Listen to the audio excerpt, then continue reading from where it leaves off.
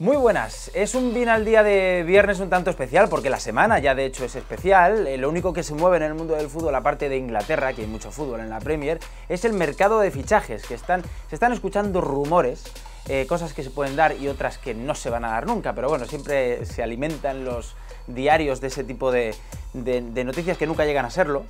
Pero ojo con esta, ¿se acuerdan de las declaraciones de Arturo Vidal hace bien poquito, el otro día? Además, eh, goleó Arturo Vidal con el Fútbol Club Barcelona y de hecho cada vez que ingresa en el terreno de juego eh, demuestra su valía.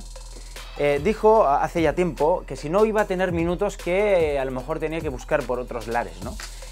dejó a la duda el, hecho de si iba a hacerlo en invierno o ya en verano, pero sonaba a que podría ser en invierno.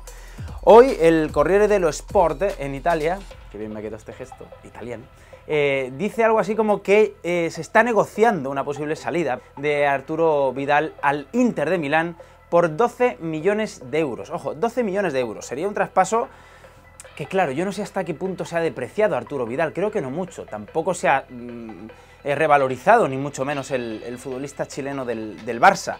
Eh, si bien dentro del vestuario es un tipo querido, es un tipo respetado, y me consta, porque está diciendo gente muy bien informada desde Barcelona, que le han pedido que se quede, al menos hasta verano. Y luego ya, a partir de ahí, si se quiere ir, que se vaya, que se vaya al equipo que quiera, ¿no? Porque que, no deje al Barça ahora, em, en cierta forma, eh, huérfano de sus...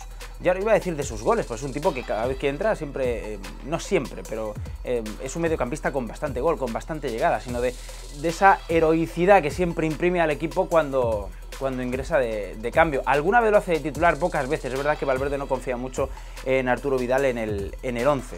¿Qué pasa? Que el Barça estaría pidiendo 20. Claro, de 12 a 20 hay un, hay un trecho. Eh, y luego em, Arturo Vidal tendría algunos ciertos problemas por su pasado con la vecchia señora, por su pasado con, el, con la Juve, de ingresar en un equipo como el Inter de Milán. Pero ya saben que en Italia por aquello que a lo mejor los tifose de, la Juve no se lo perdonen, pero eh, eh, en Italia ocurre mucho. Fíjense, Ibrahimovic, que va a jugar en el Milan, y ya de hecho lo hizo, también en el Inter y también en la Juve. Roberto Ballo, Juve, Inter, Milan. O sea, al final todos pasan por, todos y en las estaciones por las que ha pasado Arturo Vidal antes de eh, poder recalar en, la, en, el Inter, si al final esto es cierto, pues habrán sido Bayern de Múnich y Barcelona. No es que se haya olvidado su, su pasado con la Juve, pero tampoco será tan importante. Yo creo que será un gran fichaje para Conte, un técnico al que le gusta este tipo de futbolistas, desde luego, que al Inter le vendría fenomenal, pero si le quitan al Barça a este futbolista a mitad de temporada, ojo, eh, ojo, a lo mejor hay un tira floja ahí de, millones, de 12 que, pide el, perdón, de 20 que pide el Barça, 12 que, ofrece el Inter, a lo mejor se llega a un acuerdo, pero al Barça le dejarán sin un hombre importante que siempre ingresa desde el, desde el banquillo. Veremos lo que ocurre. Si yo fuese Valverde, no vendía ahora mismo a Arturo Vidal, ni loco. Vamos a ver lo que pasa en estos días de mercado.